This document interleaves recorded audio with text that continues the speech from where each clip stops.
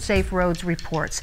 Uh, these are designed to raise awareness. The Tucson Police Department today is announcing a $20,000 boost to help with nighttime patrols. The money comes from the governor's Office of Highway Safety. It'll fund overtime.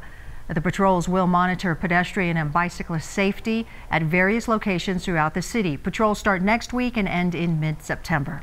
To follow along with Operation Safe Roads reports, visit our website, kgun9.com, and click the tab on the main page that says Operation Safe Roads.